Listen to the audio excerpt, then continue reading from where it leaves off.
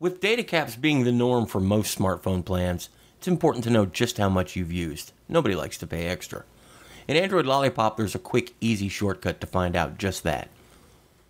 Pull down your notification shade and pull it down twice so you can see all the icons, and tap the one for your carrier signal. In this case, it says T-Mobile. We'll tap that. And there you go, a quick shortcut page telling you exactly how much you've used and the time period you've used it in. If you want to see more settings, that's available too. Just tap the button there and you see what we used to see. If you're done, you just tap the done button and there you have it. We hope this helped you, and of course, we're going to keep finding more quick tips for Lollipop as we go along, and we'll share them all with you. In the meantime, I'm out of here.